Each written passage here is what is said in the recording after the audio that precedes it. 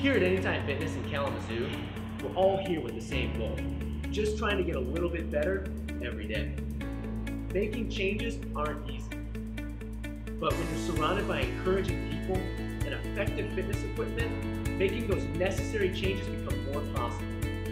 So let the positive atmosphere of our club spur you on to the true meaning of competition. To find out the definition of competition that our gym prides itself in, click on this link over here.